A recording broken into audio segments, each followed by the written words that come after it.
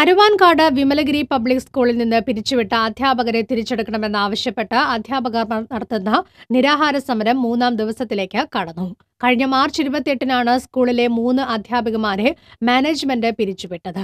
അധ്യാപികമാരെ തിരിച്ചെടുക്കണമെന്നാവശ്യപ്പെട്ട് Kerala unaided school teachers and staff union K U S T U ജില്ലാ കമ്മിറ്റിയുടെ നേതൃത്വത്തിൽ കഴിഞ്ഞ നൂറ്റി മുപ്പത്തിയേഴ് ദിവസമായി സ്കൂളിന് മുന്നിൽ സത്യാഗ്രഹ സമരം നടത്തിവരികയായിരുന്നു ഈ മാസം മൂന്ന് മുതലാണ് അനിശ്ചിതകാല നിരാഹാര സമരം ആരംഭിച്ചത്. യാതൊരു കാരണവുമില്ലാതെ അധ്യാപകരെ പുറത്താക്കിയതെന്ന് കെ എസ് ടി യു ജില്ലാ സെക്രട്ടറി ടി ശ്രീകുമാർ പറഞ്ഞു. ഇരുപത്തെട്ടിന് മൂന്ന് അധ്യാപികമാരെ യാതൊരു കാരണം കൂടാതെയാണ് മാനേജ്മെന്റ് ഒഴിവാക്കപ്പെടുന്നത്.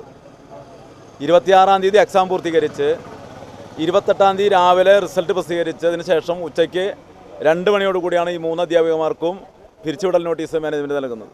പൊതു രാഷ്ട്രീയ കക്ഷി നേതാക്കന്മാരുൾപ്പെടെ ഇവരെ തിരിച്ചെടുക്കണമെന്ന് ആവശ്യപ്പെട്ടുകൊണ്ട് മാനേജ്മെന്റായി സംസാരിച്ചു.